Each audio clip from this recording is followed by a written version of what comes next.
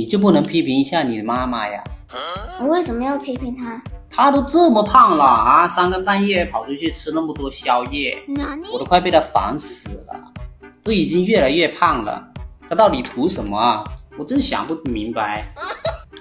你要是喜欢瘦的，去刨坟，那里有骷髅。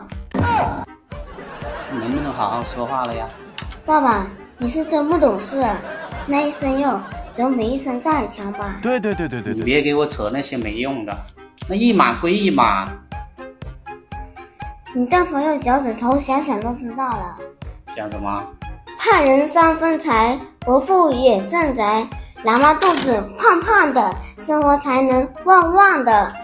可是老妈小手幼幼的，钱包才能厚厚的。老妈小脸圆圆的，生活才能甜甜的。我你别说话，都几十岁人了，这点小事都不懂。你还有事吗？